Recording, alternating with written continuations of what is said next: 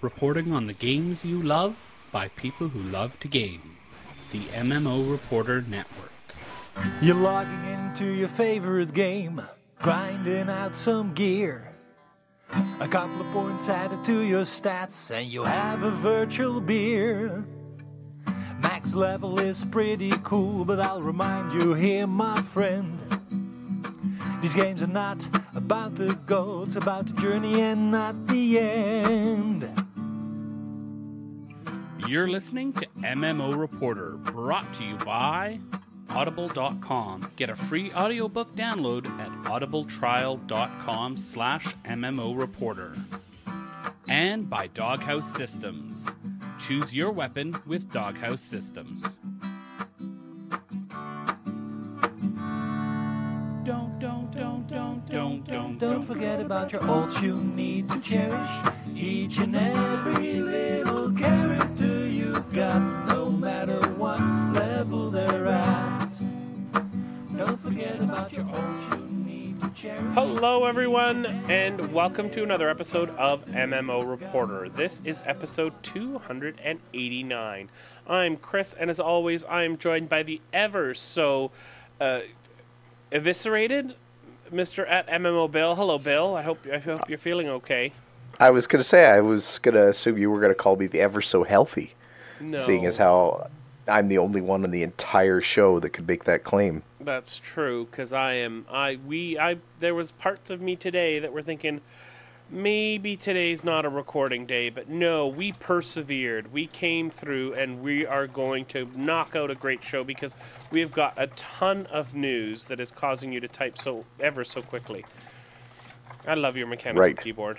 Um, It's not a mechanical Oh, keyboard. you just attack it that heavy. Wow. Okay. I'm not even attacking it. I think my microphone's too good. I think Yeah, that's it- the real that's problem. Really, that's really what it is. It uh, almost sounds actually now that I'm mentioning it, it almost sounds like we're on the wrong mic. you think? I a little bit. I do. I do Um, think a little bit. I know Zencastr's on the correct mic, so Maybe we got it's that. Just, Uh, not to get down into the weeds too far right. here. Well, we'll make it Maybe work. It'll be exceptional. It'll be wonderful. maybe Discord is broke is wrong. It'll be it'll be fantastic.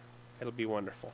Uh, let's get into what we've been doing in game. No matter which mic you're on, Bill, I'm sure that you have some great stories to tell about your gaming experiences this past week. Well, uh, absolutely, I do. Uh, it's uh, it's been a Guild Wars 2 heavy week for me. Actually, I've been getting into uh, farming up. I, I, I'm totally six months behind on this now, but I've been farming up winter berries in the Bitterfrost uh, Bitterfrost peaks for the most part to start with, and it's uh, it's I, I've got enough that I was able to get my ascended breather for my thief. Nice. So, which is the big expensive one? That was the 500 berries, 6,000 Right. magic, Yeah. and I also just got a ring, an ascended ring for my thief as well Yeah. too. My my thief is very ascended light, so I've decided I'm going to try to pick off some of the low hanging fruit for. Uh, for ascended gear, so I can maybe use that dude to run some fractals and do something maybe a little bit more advanced. But really, just to kind of, I needed, I needed to set a new goal in Guild Wars. I was a little bit uh, behind in, I like, I was just eight, wandering aimlessly, doing Yeah. Auric Basin and Well, randomly, I'm glad you have some and goals now. yep, yeah, that, and I need to grind up some gold too, but. There is that. It's that's secondary. The main thing is to get some Ah. ascended gear going and try to get back on track with making legendaries, yeah. Which could happen sometime sometime in my lifetime. It's possible. Someday over the rainbow. No, I can't Yeah. sing today. Oh yeah. I got no voice. And I also did um, World of Warcraft. So I've basically just been plugging away at my regular cycle of doing the World Quest, uh, Emissary Quest, and that kind of thing. Um, I did. Uh, we did a on our Wednesday night stream, which, where you were uh, not there. We did the Nighthold raid on yes, normal. sad. Yeah, we, we hooked up with uh, Darren's guild and ran that. Uh, I healed terribly, like em- embarrassingly bad. Yeah. Uh, not so much that I was healing badly, because I was actually keeping up with, uh, uh, well, not all the other healers. The the, the actual the, the the tank healers were obviously mopping the floor with me, but the secondary healers, I was keeping up with them when I wasn't dead on the floor, which was a lot. So, so that was a lesson. Uh, discipline priests are not raid friendly. I'm I'm actually fairly confident to say that dungeon running discipline priests are fine. In fact, you could even say they're good because, uh, especially if you're trying to do speed runs, uh, the extra uh, 100k DPS uh, from a from your priest or from your healer is actually going to be helpful. I Right. mean, yes, because it's enough to keep everybody up, which is obviously the most important thing.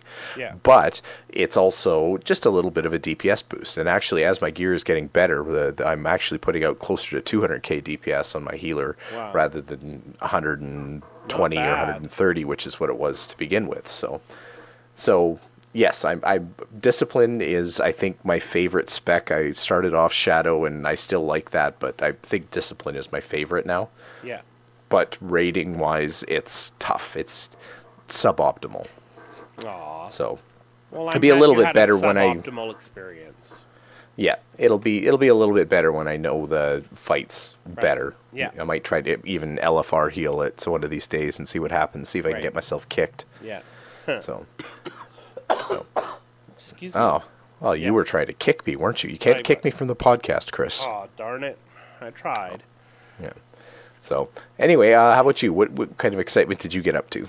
Uh, I actually, I think the most exciting thing that happened for me this week was I actually jumped into Lotro and uh, I streamed for a little bit and recorded uh, Update 20, which is the Battle of the Black Gate. And I think the most exciting thing for that, and I've, I've been jumping back in uh, probably more than I have in a while, uh, back into uh, into Lotro. Um, I did a little bit of questing, but I'm going to jump ahead a little bit here in the video to show people. Uh, but I actually got to the Black Gate, and I I was astonished. I was amazed. I was flabbergasted. I was awestruck. Um, this is probably the most uh, impressed, for lack of a better term, that I have been with something that Turbine, or, sorry, Standing Stone Games, formerly known as Turbine, um, has put together ever. Like I, I'm Yeah. walking up, and it's just the most intimidating, imposing darkness of the Black Gate, and even Isengard didn't do this for me. Like it was just, it was amazing. It was outstanding. So I've got that on video. I'll put a link in the show notes so you can see my my my gobsmacked uh, reaction. And I did try to run up to the gate, and I was killed automatically just by dread. Well, Like oh, literally, I died of dread. Oh, I remember Dread Deaths in Lotro. That's uh, that's a special special experience. I Yeah. remember the very first Dread Death I think I ever got. We were up in we were trying to cruise through Angmar. Angry Mark. and they had those yeah angry mar that's where the term angry mar came from actually and yeah we just got too close to those statues and it was just instant death Yeah. and i remember raging about that that was that was the Angry Mar. stupidest thing i'd ever heard of in my life yeah. oh, Yeah. oh memories Oh, the memories. Uh, so that was a ton of fun, and I really enjoyed that. But I also have, even though I wasn't there for Wednesday night, I did make it into WoW, and uh, I did stream some dailies and some mythic runs and stuff like that, and running around in World of Warcraft. I'm now up to. I've got my second legendary, uh, which is a Oh, really great two, tanking huh? one. Yeah, shut up, you. You got your third. You didn't even mention that. I'm okay with that. You don't have to mention it. Um, Okay. but uh, I got a nice tanking one that gives me a nice. Uh, I think it's fifteen percent of my health bubble. Yeah So every thirty seconds, so that's nice. That's going to help. So I'm up to eight sixty nine. I know you're in the seventies. Are you in the eighties yet? Eight eighty something. uh, i'm at 879 right now Okay, so you're because 10 I, ahead of I me. got i got the exact same legendary you did yeah. which is uh, Yeah, I mean it's it's better for a tank than it is for a priest, but Yeah. it's better than it's ever so slightly better than one of the things I was using for for discipline anyway. So Yeah. it's it's it'll be it'll it's a slight upgrade. So Yeah. uh, but yeah, I'm hovering around 880. I'm just just that close, not quite though. Yeah. I need one or two more decent upgrades. Well, that's great for you. Uh, Mm-hmm. I'm I'm a little jealous, just Yeah. a little bit jealous. Well, we're gonna. There's gonna be some news coming up here pretty soon that should help you out here. We'll talk about that after Yes, the after the break here. Yeah. Um, before that, though, uh, I did also play Horizon Zero Dawn, which was actually uh, a, uh birthday present for me. My 40th birthday was a little while back, so I jumped into Horizon Zero Dawn. I think I'm in love. Uh, I think this is my favorite open world RPG that I've ever played. I really enjoyed Final Fantasy uh, 15, um, but this just it it just the design of the world, the immersion of the world. I know they're completely different styles, but this is so outstanding. Uh, the combat is fun.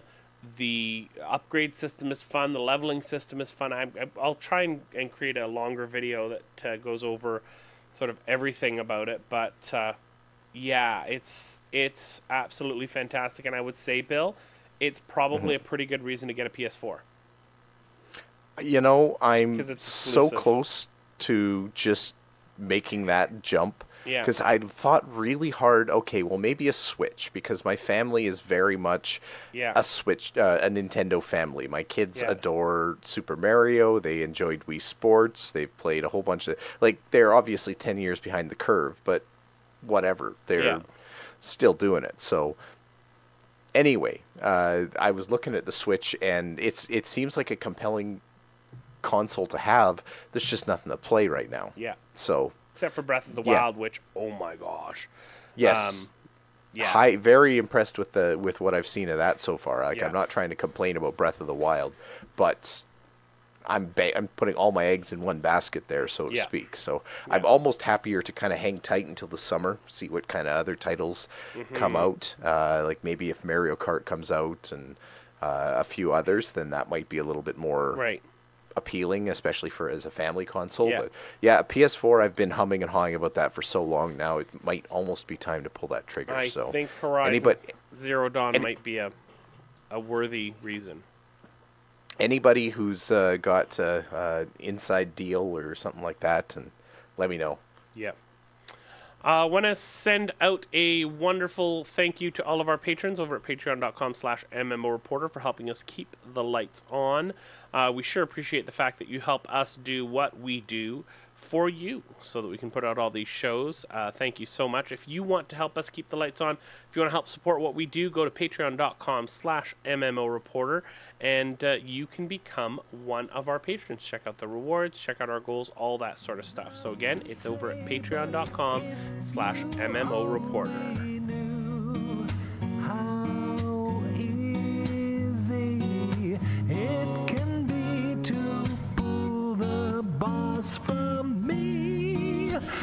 than deeps is all you have to do to make the raid. Then you wouldn't have to say that you. So Blizzard made some waves. Uh, they announced bi- that uh, their new expansion is coming out on Tuesday. Not expansion, Uh, content update. Are you sure this isn't an expansion? Because it looks like an expansion. It's pretty big, isn't it? I have seen other MMOs release expansions with less than this. Yeah.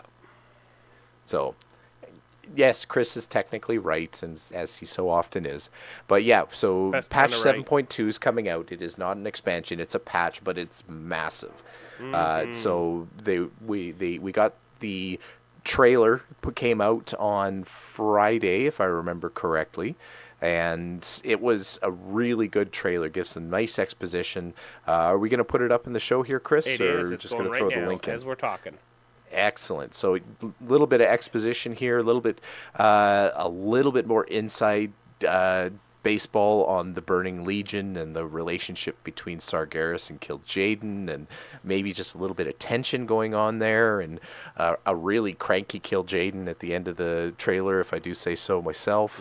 So it's I- and this is just it, it it's it was a really fun trailer because it gives you just that little taste of WoW lore that if you're into the lore, it gives you just basically a whole new rabbit hole to dive down and see what's going on.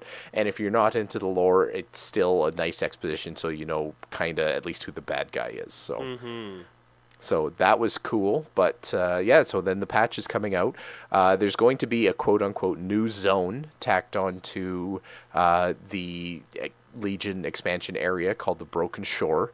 Now, some of you are going to say, wait a sec, that's not new. And you're absolutely right.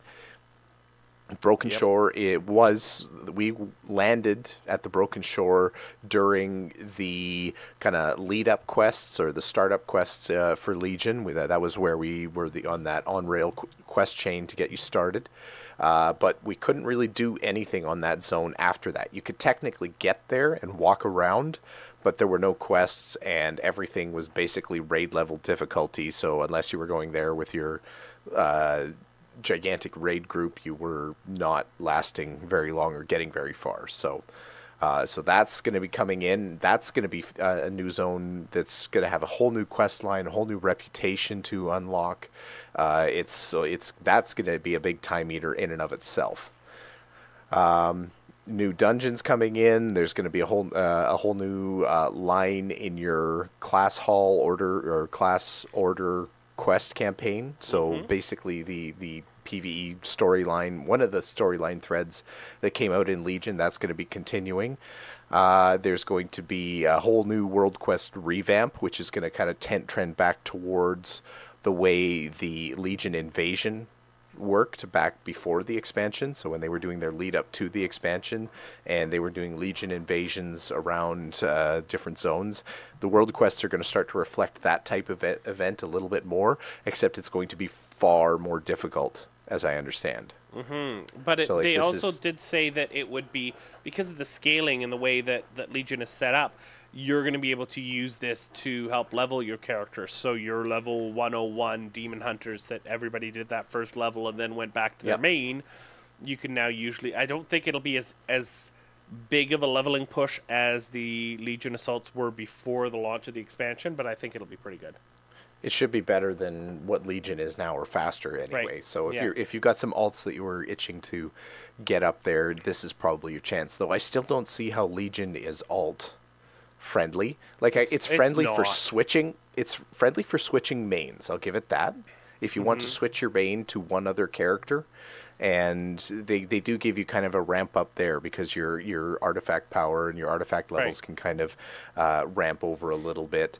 Um, it there's some other boosts that you can kind of give your character and that kind of thing. So it, it, it that's not bad, but I don't get how you could run two mains or a main and an alt or the fleet of alts that you used to be able to run in previous expansions or anything like that. It just, it just doesn't make any sense in mm-hmm. Legion. There's too much, too much to level, too much going on. You'd need to spend a, a, a ton of time in there to do that. So Yeah. anyway, so that's there. If so, if you're looking to switch mains or if you have, if you're just an excellent time manager, you could get an alt up, maybe two. I'd, I'd love to hear anybody who's done bet more than that or is concurrently running like three or four alts in Legion, and I'd like to find out how you're doing it. So let us Yeah, know I if can you imagine. if you are doing that. But uh, uh, other stuff coming in, there's going to be a pet battle dungeon, which is just super exciting. I bet you Josh is uh, going to be pumped about that. Um, we're going to have PvP brawls being added. These are going to be PvP scenarios, which kind of sound like they're going to be cyclical things. So there's going to be uh, different venues, different rule sets. It really reminded me a lot of the Overwatch arcade. So I'm wondering Right. if they borrowed that idea from the team down the hall or something like that. Of course, flying's going to be in there. Um, there's this, a whole bunch of other stuff like there's class balance. There's others. There's uh, new.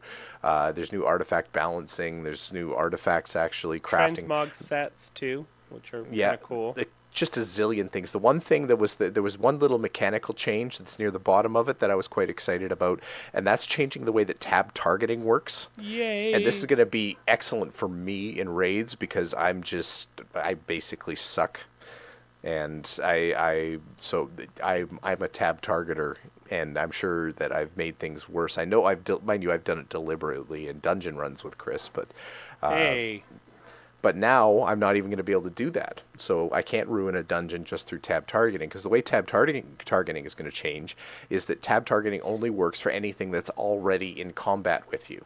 So you can't accidentally tab over to something that's not in combat, yeah. which means that you can't accidentally pull unless you actually get your mouse, click on the thing that you want to quote unquote accidentally pull.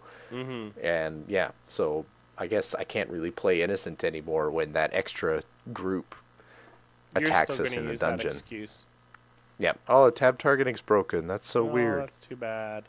I'm really excited for all this. I'm excited. I'm pretty close to completing my, um, my Pathfinder one, like my first Yeah. explorer uh, bit. Uh, I've just Mm-hmm. got some some last quests to do, uh, and get that done. Um, I'm excited for the new dungeon. I'm excited for adding uh, Court of Stars and Arcway to the Dungeon Finder, Mm-hmm. which I think will be cool. And uh, Now- just good times. Yeah, it's going to be good. Now, I would recommend that you just cruise around YouTube a little bit. There's actually been some good guides on how to get started in 7.2, and because there is so much going on, there is probably a right way to get started Right. a little bit. Um, in this case, the, the thing that actually Darren pointed out on our stream, and that I've seen other people mention on, on uh, other YouTube uh, shows, Yeah. is that uh, you don't want to be jumping straight into the new zone and world quests there because there's going to be a quest line that comes up when 7.2 comes out that allows you to level up your order hall. And one of the big things about leveling up your order hall is that the final step in your order hall is going to give you the opportunity to like quadruple the amount of artifact power you get from completing artifact quests. Right. So, and because there's going to be new scaling for artifact weapons in 7.2, uh, gaining artifact power, like big gobs of artifact power, is going to be very important. So, so keep an eye open for that. Look for those guides. I, I can't give you the exact step by step here because I don't know it off the top of my head. I just know that that is a thing to be aware of. So keep so check that out. But yeah, big big patch. I don't remember a bigger patch in terms of notes, in terms of like just what's what's planned uh, that World of Warcraft's ever done. Like Yeah. expansions, of course, that's separate, but I'm pretty sure this is the biggest that they've done. Yeah, this is um, this is pretty cool. I'm excited about the amount of content that they've got here, and and hope that they do another one in another six months ish. Yeah. Well, Before, because we'll be, they're not going to well- do yearly expansions, right? They talked about that. Yeah. So, So- well, you think about what they've done already. They did 7.1 in December, if I right, remember which had right. Kara and a couple Yeah. of other things. Yeah. And I will be the first to admit that it started to get a little dry towards the end of uh, 7.1 and 7.15. They did okay, but we're getting to three months, four months. 7.2 looks like it'll probably carry us for another uh, at least three, four months because there's going to be a ton to do there. I mean, Mm-hmm. Obviously the the good players are going to be getting through this in no time, but you and I, being the regular humans that we are, are probably going to get a lot of get months out of this. Right. So Yeah. No, I agree. I agree. I Oh, think this is a and, fantastic uh, patch. If you've got some gold in your bank, buy your WoW tokens now because I almost guarantee they're gonna price spike on Ugh. Tuesday. All right. Thanks, Bill. I'm here to help. Yep. All right, from WoW to a spiritual successor of a game that uh, is from the you know, same era as uh, the original WoW launch. Uh, City of Heroes was a game that you and I both played and both enjoyed quite a bit. Now there's a new spiritual successor, which we've discussed a few times on the show, called Ship of Heroes, that is coming out. Uh, that's actually going to have their Kickstarter starting on April 4th at 10 a.m. Eastern and I had a chance to sit down uh, with a few of the dev team, uh, with uh, Casey McGee- uh, McGeever and Matthew Wilson, uh, as well. Uh, Justin Roberti was there, and we uh, basically, uh, Casey showed me around the game while Matthew was driving, and they showed me around a few different parts about the game. So I thought, first of all, um, just mention sort of what the whole idea of this demo was. There's two parts basically to this demo. Uh, the first part was sort of showing us around the city itself, uh, the, not the city, the ship. Uh, this one level of the city that is that is this ship, and uh, and and giving us an idea of what everything looked like. And and uh, we'll have by the way we'll have a full uh, version of this interview uh, released separately but this is sort of going to give you a little bit of a teaser of all the stuff that we talked about. And uh, so they, they showed us around the world and this particular level and there's going to be 20 levels on this ship in total. Uh, it's going to launch i believe with one or two levels is what they talked about and uh, this one particular level, which is sort of the, the first one, uh, had things like uh, Space Needle analog in there, and the Experience Music Hmm. project, and uh, uh, the Golden Gate Bridge sort of stuff in there. So it kind of all looked really, really cool, and it was uh, an interesting way to start out. And it looks really interesting, and, and they mentioned in the discussion that we had that it's built around you know teleport and flight powers and stuff like that. You won't be able to run up the side of buildings like you could in some other hero uh, superhero games, but uh, you'll be able to teleport and fly and stuff like that. So things were built like that. So this whole game takes place on this ship, and and possibly they talked about raiding planets and stopping at planets and stuff like that, and. Uh, and taking a look around and stuff like that. So it was very interesting to get a little bit of a tour of one of the levels on this ship. So, Bill, did you have any any sort of questions about about the game and stuff like that? Why, yes, I do. Huh. Um, actually, first, Hey, gee, it's almost like we planned this. Yeah, I know, right? Um, actually, first thing I wanted to ask was, uh, the- I mean, this has been kind of billed as a spiritual successor to City Yeah. of Heroes, and we know that that's the design uh, philosophy behind it. How much is that coming through in the demo? Like, did it look like a new can of paint put onto City of Heroes, or does it look like its own? It's turning, it's earning its own identity, or what did what did you think uh, Definitely from that has- aspect? definitely has some aes- aesthetic connections to City of Heroes in the way in which things look, the color palettes that are chosen, very bright, comic booky, and stuff like that. And um, you know, uh, we look we look at the character creator later, which we'll talk about in a minute. But um, you know, it's got some some definite thematic pulls from City of Heroes, but it's not the same game. I mean, things like what we're looking at now, which is you go to a window on any level of the ship and you look outside and it's space and it's 3D space. The way that they've done it there is not just a mm-hmm. static map paint, like, well, it might be a static map painting, but they've curved it around so that when you look, you can actually see like it's outside of the ship. So that's kind of a hmm. cool thing. But yeah, so it's, it, it definitely feels like this could be what City of Heroes was if it had launched today, would be if it launched today or soon. And it launched like you is this a spaceship uh, joke uh, isn't that funny? Yeah. Uh, but it, it definitely doesn't have like, oh, this is from City of Heroes. Oh, this is from City of Heroes. Doesn't have that. oh okay Yeah. Okay so the demo itself then what was the like what did you actually see as you were going through the demo like what's kind of the theme of it or Uh, so it was basically giving us a tour of this one level of of the city and the character creator. Um, Okay. Sort of those two parts of it. So we're taking a look at the city now for those of you watching the uh, the video version of it. Okay so basically like a like getting a tour of the neighborhood or something like Right, that or- exactly. And there, there's going to be 20 levels, but this was the first one they showed us. They were just showing this one. now is it just a like running the character around or do they have npcs or or or baddies in there or They had anything like that NPCs in there, but it was just robots running around. I don't even think they had textures on them. It was all gray. Hmm, okay So this is still all pre-alpha. yeah okay Yeah. Yeah, Yeah, looking cool. Mm-hmm. Um, so, is this so? What's the deal with the ship? Like, why is this a Okay. ship? Are we did did did is Earth dead and now people just live in space, or what's Right. going on here? So I asked Casey about that, and this is what he had to say. in, in the current conception does not get back to Earth, right? There are other ships, there are other planets, there are colonies, there are space stations. Humanity in this future is united because there are actually such dangerous species that view us not as, you know, other beings, but as food. So got to be constantly on our guard against dangerous aliens while we're allied with positive aliens. Right. So it, it's definitely a, a, a- a part of a greater universe that they're that they're talking about. It's not um, it's not just everybody's piled on this one ship.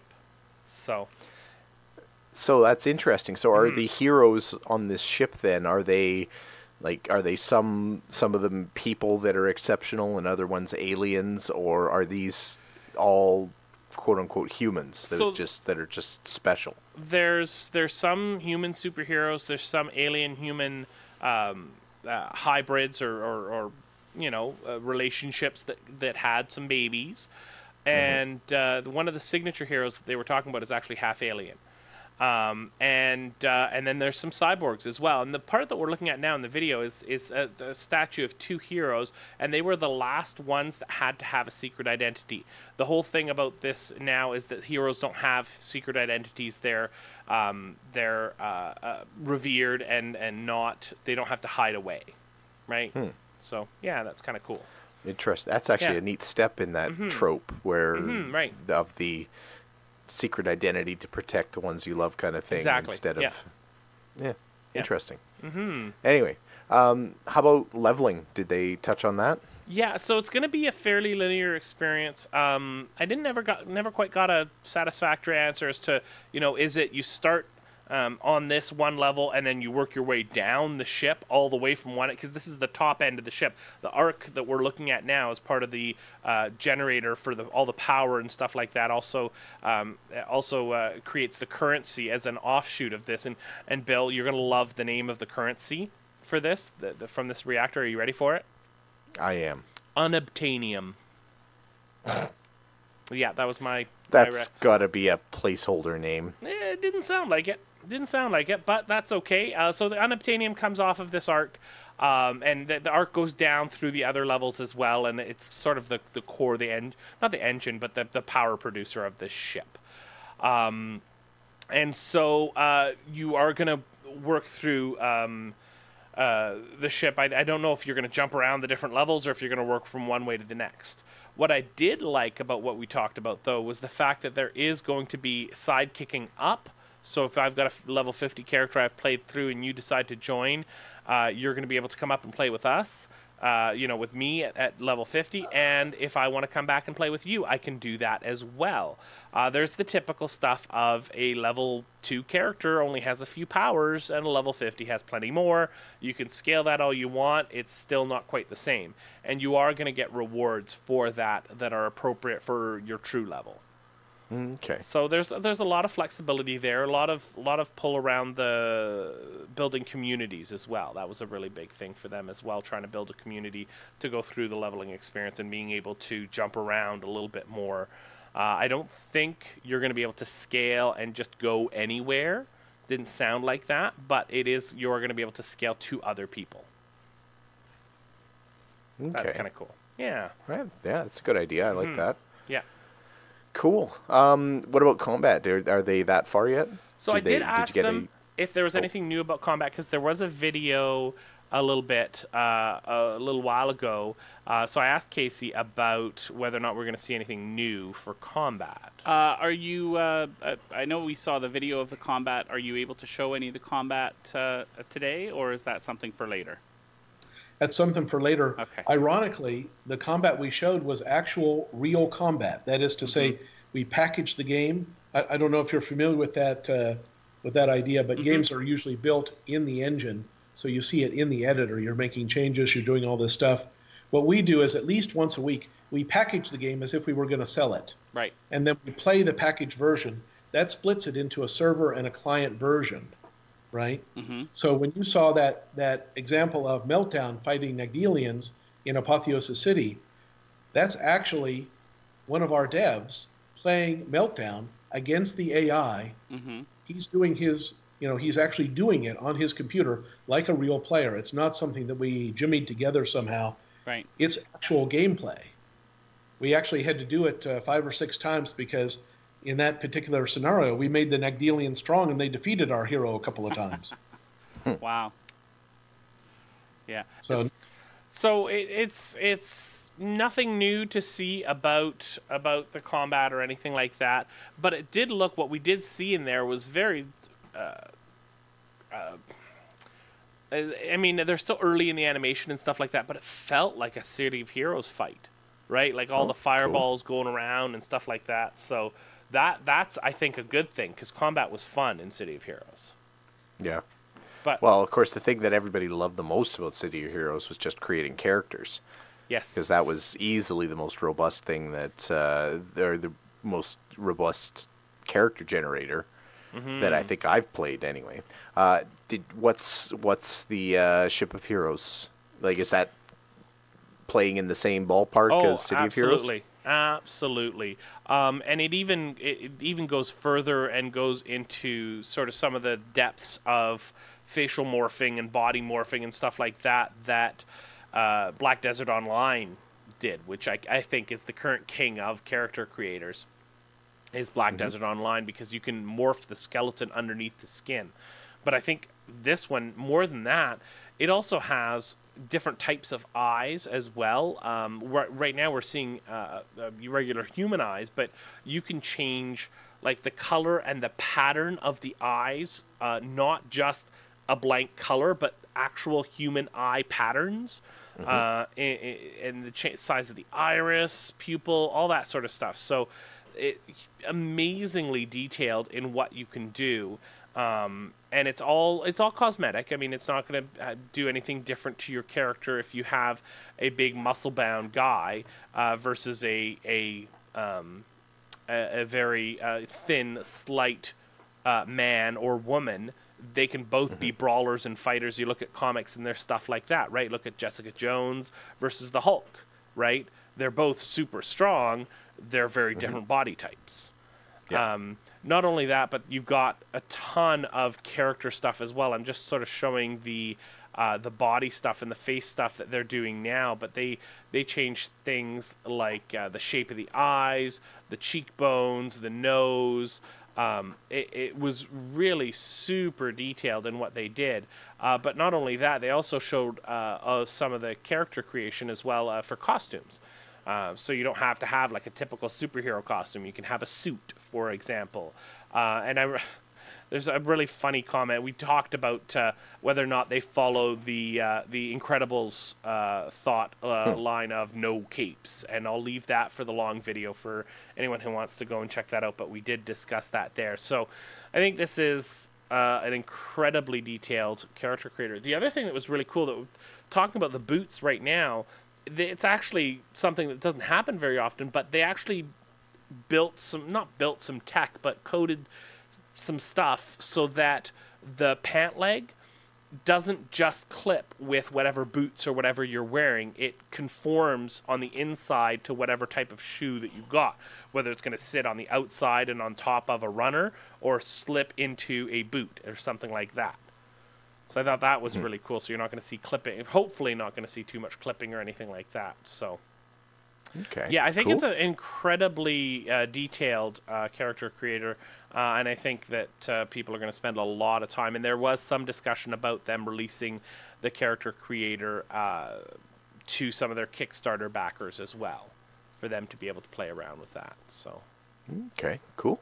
yeah, How how about uh, business model? Are they? Is it a free to play, buy to play? Okay, sub. so this is this is this is that part of the show where we're gonna have to talk for a little bit. So I did ask. He mentioned that it was um, that it was going to be a subscription model, and so I asked him about that, about what he thought about about bringing that into the current climate of of MMOs. I think uh, probably a large portion of our listener base uh, had their ears perked up when you mentioned that it was going to be a subscription game and not necessarily in a positive way. What do you say to those people who automatically, just at the thought of a subscription, said, "Meh, okay, thanks, next game"? I hope they'll give us a look. That's what I'd say to them. But the history of MMOs is that there used to be a time when everybody thought they were going to make the replacement for World of Warcraft. Mm-hmm. They were going to come out, their game was going to be so different, so exciting, so novel, so new, or so not new, that they were immediately going to get 5 million players. I mm-hmm. think we've had a lot of creative people make a lot of games, and everybody should understand nobody's going to displace World of Warcraft. That's not on the table. Right. So that is not our objective. Our objective is to make a great game where a community can come together and have a lot of fun. And if our game has 50,000 or 100,000 players, for us, that's plenty. We don't need to get to 5 million. It's not an aspirational goal for us, not even an aspirational goal. Instead, we're looking for the quality of the experience, the depth of the experience. Some people will decide. I know already, some people are going to say, I don't get it, heroes in space. To which I always say, dude, did you see Star Wars? Yeah. but, you know, some of them just can't get over it, you know. Um, so the game won't be for everybody. But the Right. people it's for, it should be incredibly strong and good. And Yeah. That's our objective. Mm-hmm. That's our objective right there. So to me, that answer seems, for lack of a better term, incredibly naive about the current climate for gaming, especially in the MMO space. What do you think about his answer there, Bill? You know, I don't agree with you here. I, I've I've uh, I've been thinking about it a bit because I these are the things I think about in my spare time, and I don't hate that philosophy that that you're designing your game to be a good game. And if their whole business model is that we can get a small audience that's and really cater to just those people like get the get a get our get a get a core set of people down build your community and be loyal to that community. If they actually can pull that off that's probably a more stable way of running a game than to just throw it out free to play hope you get 5 million downloads and then hope that uh, uh, 2% of those people are to, uh, stick around. You know i mean that that's that's uh, trying to hit the home run is that's not where mmos are these days. There's there hasn't been a home run mmo in a very very long time. So i think it's a little bit realistic to say okay we aren't going to be in seven digits of subscribers here. Let's build a game that fits five digits really well. Right, and I, I, I worry though that it's just going to uh, fail to like get an audience because of the subscription. No matter how good it is, there are so many other options out there. Maybe not a superhero It's- game, but there are so many other options out there. So I actually asked them about like content release and and how how they're going to make people feel because there's there's in the current climate there's a lot of entitlement that comes with the idea of a subscription. Okay, I'm going to mm-hmm. subscribe to something. I need to have something regular that's gonna that's gonna make that worthwhile. So I did ask him about that, and he and he actually went back to the business model as well. content release hope is that, as I said, we'll open with at least two levels of the ship. We'll keep expanding, more worlds. But actually, I would bring you back. I think maybe you're you're you're channeling those free to play players just a little bit too much. A lot of players who play free to play games do it because they know there are so many great games out there that are free to play. They come, they do the content, they leave. Mm-hmm. That's actually not what this game's about. Mm-hmm. This game is about coming, finding the community, and having fun.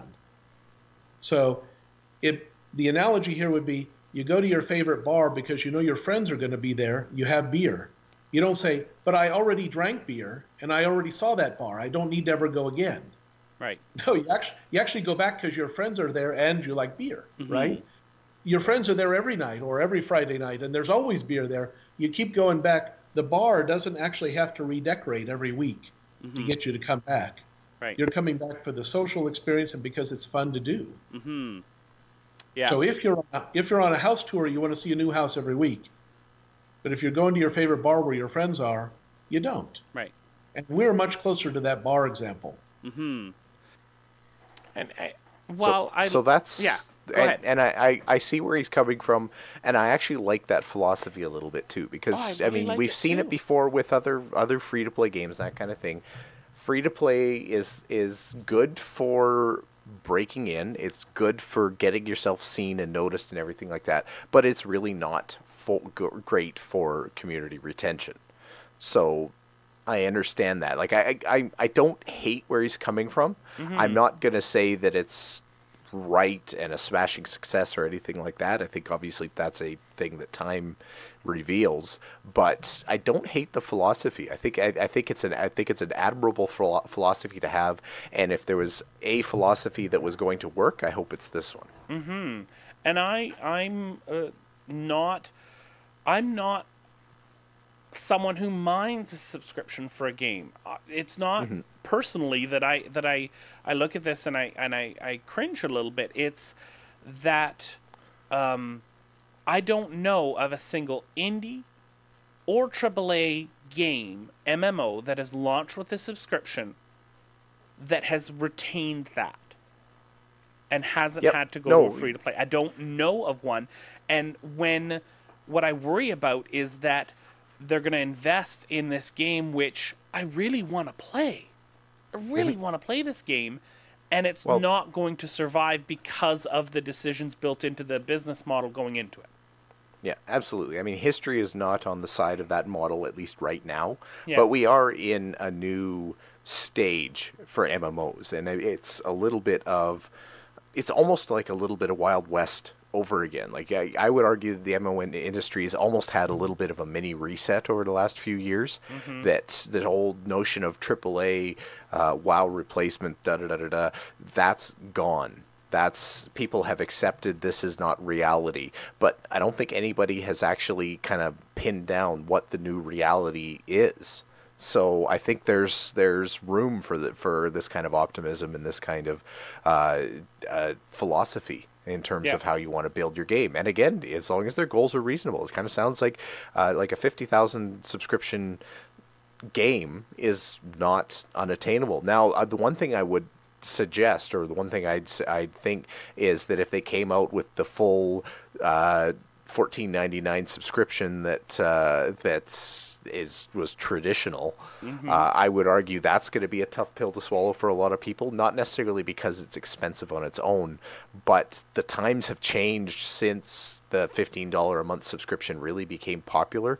Yeah. Uh, other little microtransaction type stuff has been added to people's lives, like the Spotify's, the Netflixes, on Yeah. top of regular cable and, and stuff like that. For a lot of people, uh, the people I think get a little bit gun shy of getting those nickel and dime things added on to their monthly bills. I mean, I know I do, but I'm also legendarily cheap. Mm-hmm. Yes. So Yes, I knew that. always think twice about that. But I mean, if they rolled in at a at 10 bucks a month or even 5 bucks a month or something like that i think that that would probably slide, slide right under a lot of people's radars and be like meh i like the game i'm just going to pay it and probably never even think about it anymore Yeah.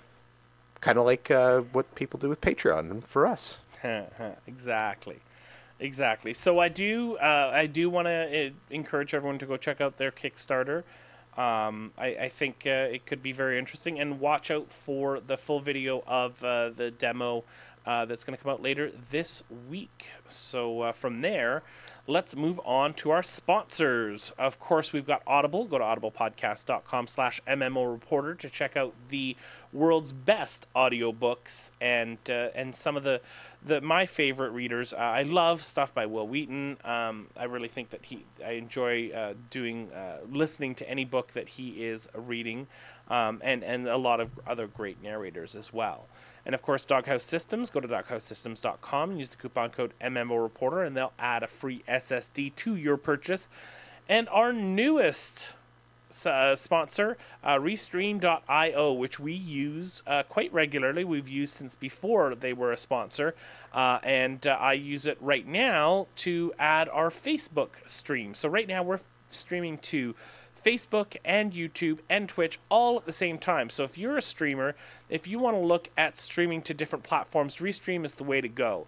And for a long time, uh, we actually used it for free, and they had some really great services that you could check out uh, for absolutely no cost. Uh, and uh, and that was really fantastic. We could uh, stream to Twitch and YouTube at the same time but they've got some extra uh, things that you can add to it. For example, if you want to double uh, the amount of uh, Twitch streams, so if you want to do two Twitch streams, you've got two different Twitch channels for whatever reason, or to YouTube channels. Uh, you can do that for $4.99 a month. Or if you want to do custom platforms and, and stream to an RTP MP, which is what we're doing for Facebook, they've got that available uh, for fifteen dollars a month for each additional uh, RTMP that you want to stream to.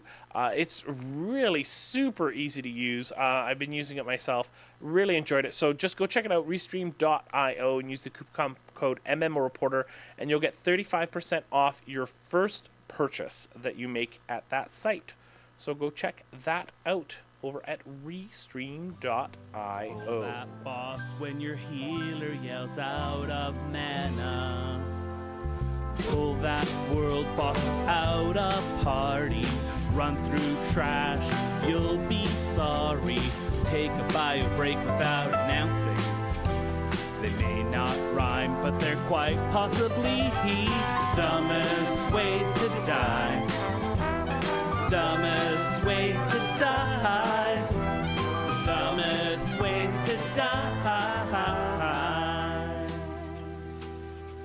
So many dumb, so many dumb ways to die. So, Rift actually came out with a bit of a producer's letter, a bit of a post-mortem on how uh, how the expansion launch has gone and where they are with uh, version 4.0 and everything like that.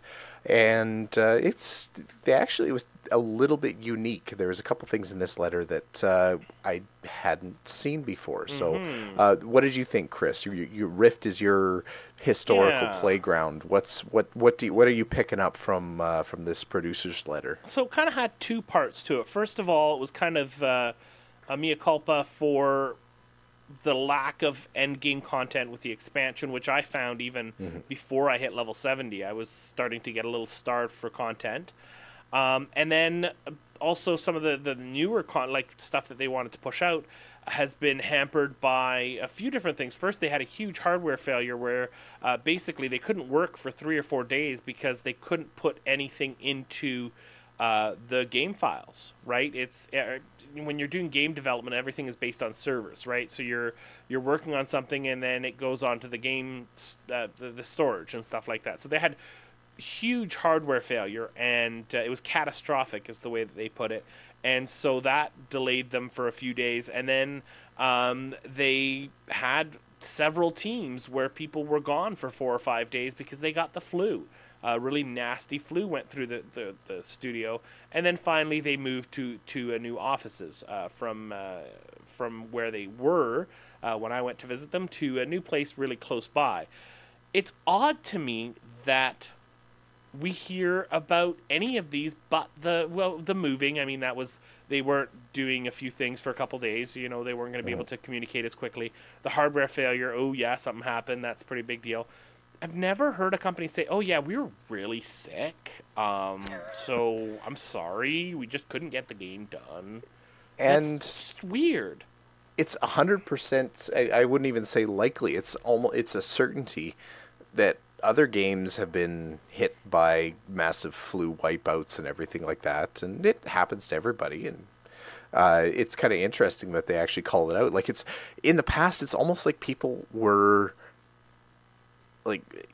I think there's a bit of a stigma about saying, "Yeah, I got sick and I missed some work."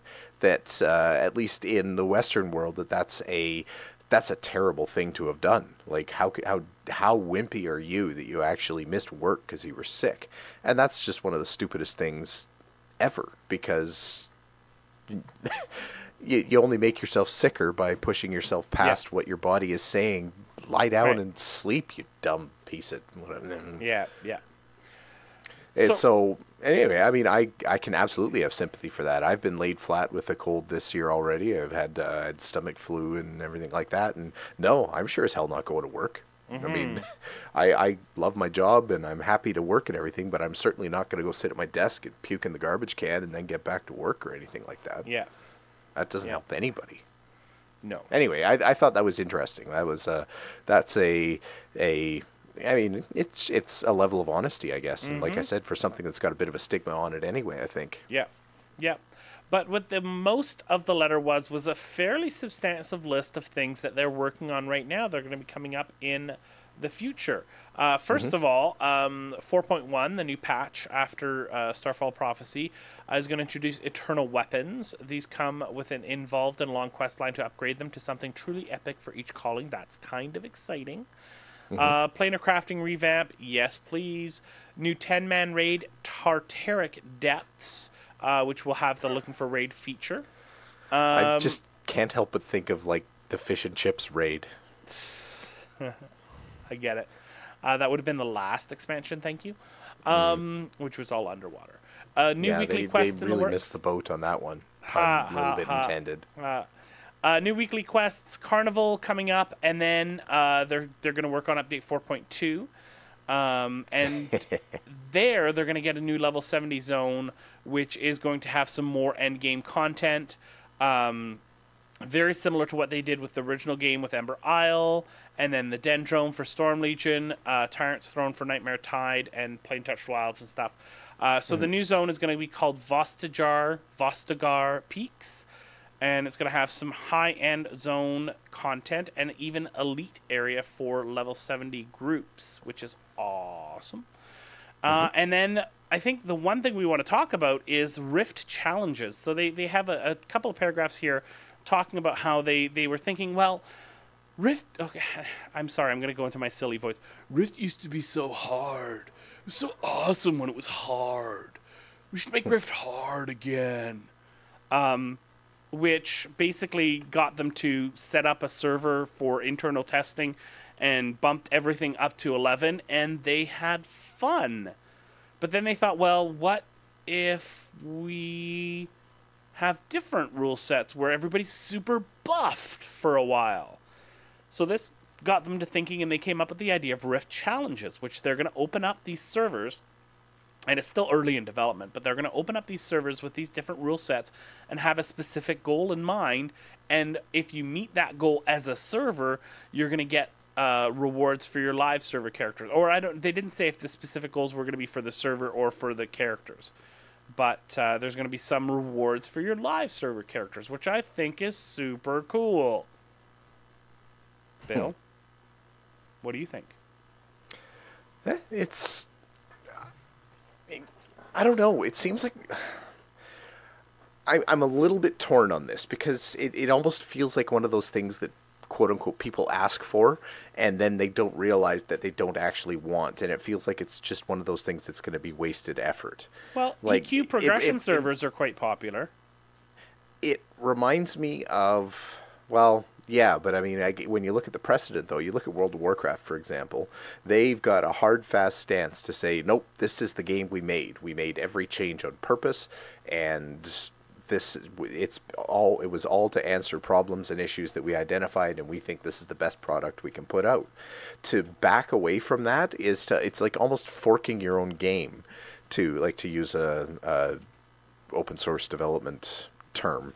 Yeah. Uh, pardon me if that's anyway. It, it, it feels like you're you're you're basically making a whole bunch of extra work for yourself, and, and it's almost like second guessing what you did before. And if you're going to second guess, why don't you second guess in the whole game? Mm-hmm. Like instead of just creating this little experimental offshoot that could wind up being uh, that at best scenario you're going to split your population out and you're now maintaining two different games. But I think I don't know, I- I- I guess it- time set. with- So think of it like a Crowfall campaign. Oh, you've got You this see- limited amount of time to do this thing in this other server, and then you come back to the main server. See that I don't hate. I th- I actually kind of like that idea that if it's a fixed thing or if a tournament type style thing Mm-hmm. or achievement style t- thing, you've got okay, you've got three months to get all the way through progression from an empty server where every mob it hits twice as hard as Right. it ever did before. Yeah, Go. It's like a new game And- plus, right? Yeah. So if that's and if you as long as you're keeping the changes simple, then that's probably good. But is but again, that's what I what I'd be worried about is the is that forking experience where uh, your main game gets depopulated but not completely depopulated because the fork is popular. So now what do you do? Do you just go completely over to the fork? Do you, uh, or do you maintain these two underpopulated versions of your own game? Because Rift is not exactly overpopulated to begin with, anyway, No. right? I think I think it's going to be a good thing. I think if, as long as they approach it from that limited time, almost like a festival sort. Hey, go over and do this stuff over here, and you might get some cool stuff in your main character. I think it could be cool. Yeah, yeah, I could see it. All right, let's move on to our quick mentions. First of all, uh, Final Fantasy is going to be doing some data center moves. Uh, we'll have a link in the show notes if you're a Final Fantasy 14 player and are interested in this. Uh, basically, they're moving data centers. Uh, there might be some issues, but in the end, they're hoping it's better. That's why it's a quick mention, because that's pretty much all the news. All right, Done. no discussion on that. Uh, if you are a about as- Lotro player, well, that's it's pretty straightforward, right? I, I mean, I like data centers, but that's got to be one of the most boring Yep. headlines. Yep. But it's Yeah, in- important for uh, Final Yep. Fantasy 14 players. Yes, it is. Uh, it Lotro is. players, if you want to get into the Spring Festival, there will be a new mount. Oh my gosh, I have to get into a festival again. I haven't done festivals in Lotro in probably two years because I find them the same now. So uh, I'm gonna have to go back into this festival because I got a new mount to get. So I'll be playing the Lotro Spring Festival. Bill, are you gonna jump back into Lotro? I would like to, and me, no, really, Thank you. honestly. Thank I hope so. I would like to. But Yes. yeah. Uh, update 20 is fantastic, by the way. Absolutely. I believe it, and I and that's really tempting for me to get back into. But then I think that I, everything I got to go through to get caught up, and I just, Mm-hmm. it's on the list. Yep, totally understand. Uh, and last but not least, uh, not only are they bringing back Super Adventure Box, Super Adventure Festival is coming. Uh, not a lot of news, but uh, it's going to begin on March 30th and end on April 20th, and you're going to get to go into Super Adventure Box. Thanks, Moto, for bringing it back. You're awesome. Yep, I'm pretty excited. Are you gonna Are you gonna play some Super Adventure Box? Oh, absolutely. Yeah, Yeah. Uh, Guild Wars 2 is on my list. I have these old leftover coins and tokens and everything like that from from Yeah. previous sabs, and I would like to be able to cash them in for something, Mm-hmm. if oh, if only to just reclaim that bank space. Yes. Uh, I do have to say, uh, we talked a couple weeks ago about the We Love Fine uh, merchandising deal with uh, Guild Wars 2, and the stuff that they have for this is kind of awesome. I kind of want that mouse pad. I kind of really want it. Yeah. So if anybody's looking for a late Christmas present for me, or late uh, birthday present for me, I did turn 40. Super Adventure Festival. Pretty awesome. You're and the shirts. old. Oh, shut up, Bill. Like so old. Uh huh. The shirts are pretty cool too in a bunch of different colors. I, I, I don't often mention merch, but it's pretty darn cool. Yeah. And I kind of want it. But uh, yeah, that's it for our quick mentions. Bill, uh, I'm going to be playing some Lotro next week, uh, getting through update 20 and hopefully getting a video out about that and a podcast episode out about that. And then playing some WoW on Wednesday and, and regularly. And then I've got to get through Horizon Zero Dawn because that game is freaking awesome. Here's a question for you, Chris. Uh-huh. The title of the game, Horizon Zero Dawn. Yeah. Does it actually make sense in the context of the game? No Because clue it makes no sense out of the context of the No game. Like. I, I look at that title, I have no idea what that game's about. Like It's not about- even one. Horizons with zero dawns. Except that's not really What about the Northern Horizon? So what is it? Is it is it space then? Like like I think when I think of a horizon with no dawn, well, no, the moon is the the moon does have a dawn. So that- unless you're on the dark side of the moon, I guess. That's a good album. But maybe you're on an asteroid floating through space that has no sun. hey, Bill, what are you going to play next Yeah. week? Well, sure as hell not Horizon Zero Dawn. That's a no, just kidding. Just kidding. No, they, the game does look compelling, but it does have a stupid title. Um, I will be playing Guild Wars 2. Like speaking of stupid titles, I never really understood why Guild Wars was the name of the game, but that's an old drum that's been beat to death a million times. Uh-huh. Um, I will be playing Guild Wars 2. I'm I'm gonna I I've just found a couple of nice farms that are that have some goals that I like that I'm enjoying, and I just you know I've, I I haven't been playing Guild Wars 2 as much as I've been playing World of Warcraft lately, Right. And I like combat in Guild Wars 2 much better than I like combat in World of Warcraft. Okay. World of Warcraft has a lot of good qualities. I like the systems in it. I like Yeah. uh, the polish of World of Warcraft. I like Yeah. that they, they, they definitely have very clear progression. You always know what you're working towards in World of Warcraft. It's Yes, you do. basically big flashing signs saying "Go here," basically. Uh, but the one thing I've always liked better in Guild Wars 2 is the combat. It's just a little bit more fluid. It feels like you've got a little bit more room for creativity. Um, it's it's fun. And anytime I take a little bit of a break or a slowdown from Guild Wars 2 and then come back to it, I'm really reminded of that. They Yeah. hit such a nice Uh-huh. niche in there between tab target and attacking and uh, reticle type attacking, where where you attack where you face and that kind of thing. When they uh, when they release that for consoles, I'll play the crap out of that again. I still Guild really Wars like 2? Guild Wars 2. I really do. It's just Yep. not high enough on my on my interest list. It is a game, you know, do. as someone who hates consoles and, and is basically a console racist, I, I'm willing to admit that. Uh, I could see Guild Wars 2 fitting on a console. Uh-huh, really nicely. Yeah. Now, that said, I wouldn't want them to take an ounce of devel- development away from PC Guild Wars 2 because that's where I'm, I'm always Huh. going to prefer to play it. But I could see it fitting on a console. Yeah. Yeah. So, it would be great. anyway, so I will be playing that. We'll be doing my my token World, World Warcraft stuff. I'm disappointed now that my legendary, uh, what what do they call it? The bad luck insurance or Yeah. whatever it's called has been reset so that I could get that Prydaz. The- yeah, which the is no shield. good for you at all. It's it's okay. Like it's not the worst, but it's It's, It's basically- it's- it's a high stat item for me. Like Yeah. it's the the stats are more valuable than the shield, for Yeah. example. Yeah.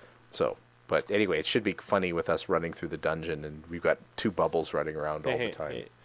Yes, it will. All right, Bill. If people Yeah. want to tell us their funny stories of running around in WoW, Guild Wars 2, Lotro, or any other game, or they want to talk to us about uh, some of the different stuff we discussed today, how can they get a hold of us?